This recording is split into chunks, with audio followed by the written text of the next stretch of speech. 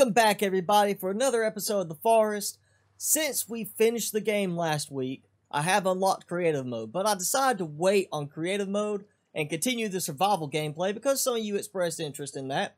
And what better way to continue survival gameplay than to start base number three? So, my first base was based around being further away and having a lot of walls, defensive traps, and spikes to protect it. The second base was based around being on a remote island with a bridge across that can be used as a choke point or as a, you know, destroy it and isolate the base. And then, of course, I expanded with walls and more and more traps. So, this point, I want to get away from that. I want to do a base in the middle of the lake here, right along the bridge over here, that will be no walls, no traps, uh, I might build like a little dock that comes out, but for most part, the idea is to make it completely waterbound and accessible by raft. And later on, I'll have some towers coming out from the sides up there to allow me easy access to the land, which will be, you know, uh, rope bridges that I can easily chop down and separate it. And of course, you, are not going to see cannibals climbing up my towers and going across my bridges, so I shouldn't have to worry about that. But we are going to get started. I've already got my raft done, and I have already loaded up with logs. And this is actually attempt number two at this video, because the first time I had trouble with the raft constantly flipping, and at one point, once it flipped, it flipped into my blueprint, and for some reason, the blueprint glitched out and just completely destroyed itself. Okay, I think I finally have got a set of dimensions that are going to work for me. This looks like a pretty good size because I don't want to build a super massive floor uh, size base this time. I don't want to be as wide as the second base. I want to be a little bit more compact and focus more on multiple floors where I have like the first floor uh, for this stuff, second floor for this stuff, and then third floor can be an open type uh, upstairs balcony type thing that I can use to connect up there and over there at least with some towers and rope bridges later. I'm going to start getting this uh, put together with all these and I've only got 144 logs this time. First time I recorded this video, I messed up. I went a little bit too big on the blueprint because it was 289 logs that I was going to have to use to build the platform. So this is definitely going to be a lot easier to do uh, as long as the raft does not flip out on me again and cause problems. So, um, got a bunch of trees, or trees chopped down, logs sitting up there. Get attacked by cannibals. Fortunately, I got two of them to fight each other. But this is what I've been dealing with, just building the raft and getting that first few logs harvested, was constant attacks by cannibals.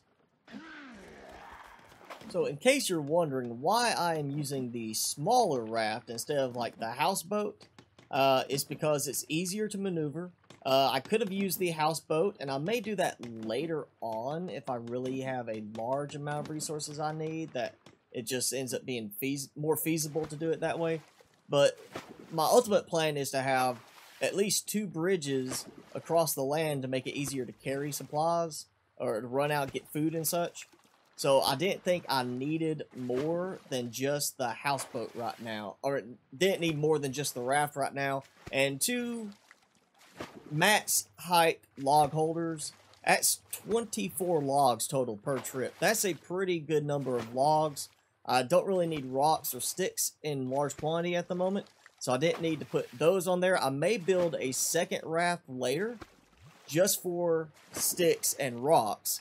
Uh, or I may do, like I said, may upgrade to a houseboat later, depending on what I see I need uh, as far as supplies when it gets to really adding onto the uh, the new base. Okay, it appears I have worn out my welcome on the other side because I am getting non-stop cannibal attacks over there right now by the sinkhole and even had a Armsy come up and say hi to me. He lost interest quickly after I hopped on the raft and scooted back out into the water, but yeah, they're just really harassing me over there, so I'm going to go over to this side where they have to kind of cross the water a little bit on some of those rocks to get over here. Maybe they'll leave me alone long enough for me to get some more logs without too much interference. Okay, so I've made it through the night. I didn't get attacked anymore once I switched to the other location uh, to harvest trees. I did have problems getting the trees to, or the logs to not knock over the raft. So I'm going to go save real quick. And as you can see, I've already got some more cannibal visitors wandering along the ridge here where I have been harvesting. So they're not making this easy for me to get what I need to build this new base. And here we go, the last ones. So the platform is done, my foundation is ready to go. You know, if they implement better controls so make it easier to snap things in place so you can more evenly build, that would help. But this is fairly even across, it looks like. The only thing I'm missing is maybe I could have gone a little bit further this way, or maybe even a little bit further this way. That's fine. This will work, because what I'm going to do is I'm going to have probably this side open right here so I can pull my raft or houseboat up and use it for unloading right here. And then we'll start building up from here and having more floors, at least two with an open roof, uh, maybe three floors and an open roof. I'm not sure yet, but let's go ahead and get started with the walls at least. Alright, so I am taking out this wall and this wall. And of course, I want windows that hopefully will not get glitched like the ones at my base did.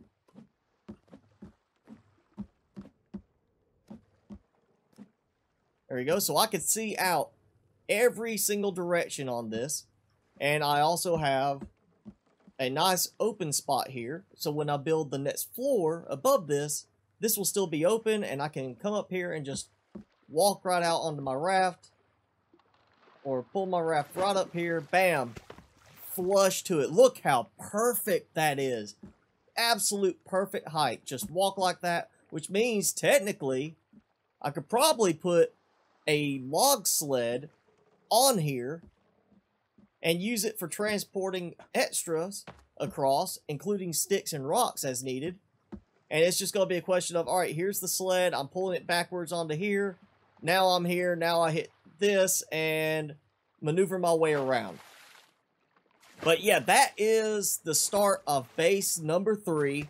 Uh, just like I, with base number two, I kind of got going. I'm going to have to run back and get some supplies from the previous base because I am out of water in my water skin.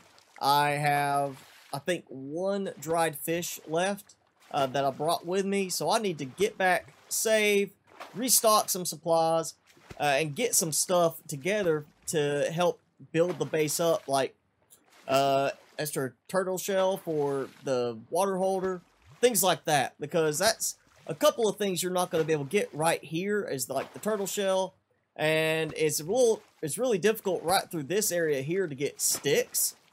So I'm probably going to be doing a lot of uh, work in that area there because there's a lot of sticks uh, and saplings up there for sticks.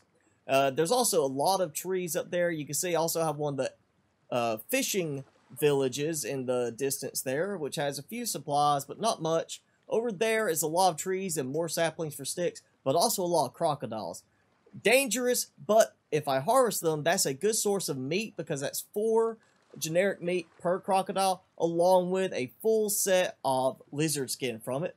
And then, of course, you know, right here we've got the uh, sinkhole behind us. But if we keep going on around the corner there, part of the reason why we have so many cannibals through this area is there's another cannibal camp right over there off the beach, which has rope hanging up. Uh, not much, but some cloth, mostly rope, which will be helpful as I am building stuff out here that requires rope. Alright, well that's it for today. If you enjoyed the video, be sure to hit that like button. Also hit subscribe and uh, hit the notification bell to keep up with all my content during the week. You can find me on Facebook and Twitter as well. And, uh, you know, leave a comment. Let me know what you like, what you didn't like. If you have suggestions for the new base. Because this base is going to be my Fortress of Solitude. A place where I can be perfectly safe and just let my, you know, sanity recover after all these cannibal attacks. So let me know if you've got suggestions for how to arrange it, stuff to put in it, things like that. I'd love to hear from you guys as always. And of course, again, thanks for watching. I'm Mr. Spicy, and I will see you guys in the next video.